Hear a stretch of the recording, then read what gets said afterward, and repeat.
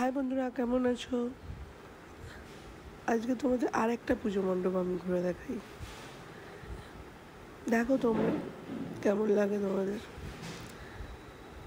এটা হচ্ছে বকুল বাগান। এখানে ভ্যান গয়ের একটা ছবি তুলে ধরা হয়েছে।